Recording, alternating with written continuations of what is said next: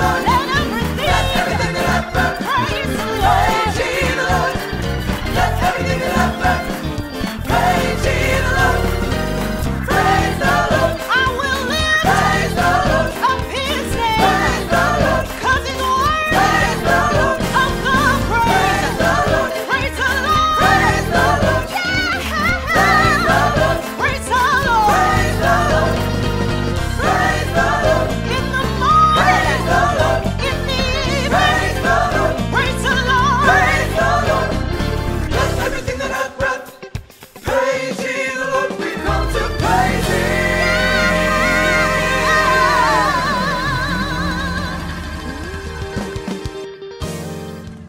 great song. What an incredible song. We've come to praise him. I just love the feel. I love the message of that song. We're going to talk with the songwriter. Mark Yandris is here with us, as you can see already. And uh, he actually wrote this song, We've Come to Praise Him, that you just heard. Uh, great song, great songwriter. And I just want you guys to, we're going to hear from him tonight and just kind of hear his thoughts on this song, a little bit of background on it, and just um, his writing in general. And so, Mark, I'm glad to have you tonight. And um, thanks for joining me. And as we talk about some of your music tonight, I want to just go ahead and jump right in. And uh, this will be pretty laid back and casual, but I just want to make sure we kind of get the essence of this song. Um, when did do you remember when you wrote the song and maybe like some of the inspiration behind this song? Uh, I think I wrote it about seven years ago, and um, I taught it to my church praise team. Actually, it was not a choir song because we didn't have a choir, and um, I it, just turned out so so good. It it was one of those songs. Actually, the three songs that I put on the UPCI CD, mm-hmm. they were three uh, songs that came to me very quickly. It's just like they just rolled off of out of mm-hmm. my quickly. Some songs I have to struggle for. God just gives me a little line upon line precept. He really tests my faith on some of these songs, you know. And I've learned to have a little voice clip handy uh, at all times because uh, sometimes God will just give me a line, and but these songs just seem to come so quickly. Um, the song we've come to praise Him. For some reason, those songs come very easily, easy for me, um, and it just came together like probably within a, a couple of weeks. I had it. It was unbelievable. That's awesome. Do you remember like? Um I'm just curious. Do you remember like did the did the melody kind of come quickly to you, or did you just did you have more of the music and the feel first, or how do you typically how does that does that happen for you typically? Um, I usually get like uh, a couple of little lines first, um, lyric lines, and and the tune kind of comes. All the chords don't come, but I, I can kind of hear the the chord structure in my head too because you know I play and I, it, I just imagine like performing it in a church, and that seems to make it the process quicker too for me. Um, yeah. Do you typically like um, when you write? I know you said this one kind of came some somewhat quickly, but um, do you typically find that like you'll write pieces, or does a lot of it come right at one time? Well, like I said, some songs seem to come in pieces uh, God makes you really work for some of the songs. And I'm I'm what you call a standalone writer. Like some people can go to a, a, a writing session for eight hours and they'll say, okay, on this such such date, we're going to write from eight to five. I can't do that. It's not that I can't work with other people. It's just that I don't feel inspiration sometimes at eight in the morning because I'm a musician. You know, we, right. I'll feel I'll feel a song come onto me in an air on an airplane. I'll go in the lavatory, get in a voice clip, and I'll say like, I hear a four right here, da da da da da. I hear a five right here, and then yeah. by the time, sometimes I'll even take like a little tiny Casio with me because I'm on the road a lot. Like I have a little toy Casio that's like this big that I bought at Target, but it works. That's awesome. Well, and sometimes you do. You have to capture it in the moment when you hear it. Yeah, absolutely. Um, when you wrote "We Come to Praise Him," did you kind of? Um, I think you already might have said you kind of heard it as a choir song, or did you just write it because you just you just felt the song? I still have the clip from when I first taught it to my praise team at home. So I didn't necessarily designate it for just a choir.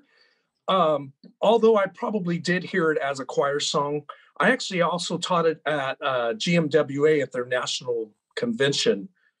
Uh, I think in 2017. So it was like a okay 1500 voice mass choir. So it can be. Know, I think most songs can be versatile. Mm-hmm. I think most songs. For me, I don't even need a choir. I love choirs. I'm a choir guy. I came from the mass choir era. I just yep. I choirs, but if I have nine good singers, I can make it work. Yeah, with that's right. New blend, you know, with all the new technology and stuff like that. But um I kind of lost my thought. Oh, that's fine. What I, that's what I was going to say was, as as as we just saw in the video, you know, we just took you know seven, six or seven singers and um, took this song and made it really sound, you know, really well with just a small amount of, just like a small praise team. And that's yeah. what I want to encourage churches tonight is this song does not have to have a choir at all. This can be done by a small praise team and it sounds very, very good. Now, I will kind of say too, you know, in the video, of course, you could hear the band and the and the and the and the tracks and stuff, of course. And and just so we can speak to that, you know, you can hear the organ just sounding so good. You're like, there's no organ on here. There's just a keyboard. Of course, that's the stems and the multi-track playing in the background. But I wanted to encourage churches, and you can speak to this too, Mark, if you don't mind, as far as multi-tracks and stems, um, how much they can advance and help churches that may only have two or three musicians and don't have all that instrumentation. Uh, stems and multi-tracks have really changed the game for that because of how much they bring and the feel and the music that can that can be provided by that. Do you agree? And I agree uh, in part. Yes, mm-hmm. I do. Um, I've been on the road for eight years doing clinics, concerts, all that sort of thing, and a lot of people have asked me, "How do you stay so busy?" And I, I say, "To God be the glory." I say this in all humility, but I, I, I I could be so busy all the time. Even during COVID, I had a lot of cancellations, obviously, but um, I think one thing is is I could take a song and, and abbreviate it to make it work for a church, mm-hmm. Um, kind of mold it into what's going to work for them.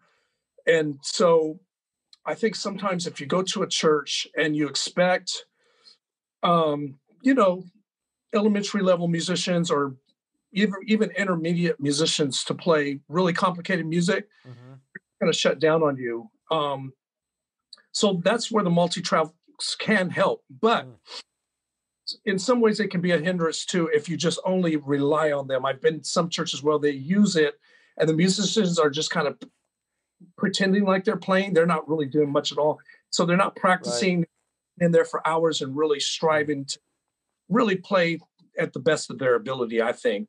Yeah. So I think multi tracks are great.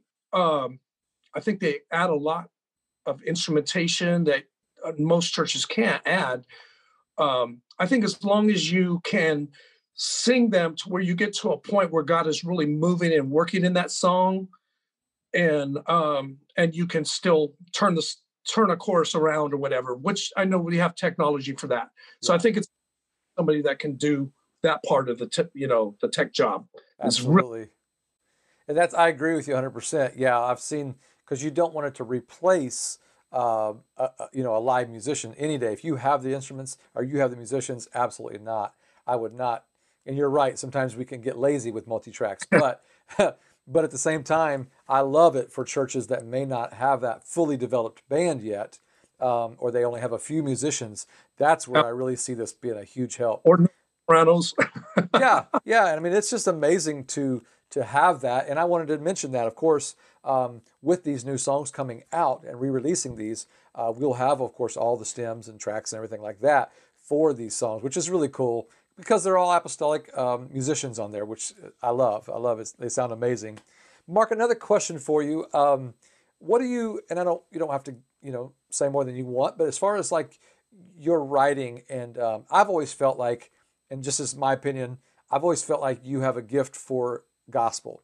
And I know that's probably because of your growing up and just what you were around. But I always feel like your your music and your songs always and I'm not saying you can't because I'm not putting you in one hole or, or another, you know, but at the same time, I love the fact that your music always has a good church feel to it. Is that just from your growing up and you being around that style of music, or what do you think? Well, that's a large part of it, I would say. Uh, yeah, I would agree with that. Um, although I write a lot of songs that I I think people have not heard, and I do have a new CD coming out, hopefully okay. about six weeks to two months, and it's it's going to show some of my contemporary side too. So I'm I'm very versatile, um, but I seem to be the go-to guy that people come to me for fast songs. I remember came to me for material. You were like, "We are overloaded with slow songs. We need fast songs." I said, "I'm the guy. I've got an abundance of fast songs." And I think that is um, my my dad's church across the street from a Church of God in Christ. So I grew up hearing that gospel sound, and I just, you know, it's it's more than just taught. It's, a lot of times it's just caught. Mm-hmm. So um, that, and I think uh, growing up in the West, we were always known as wildfire.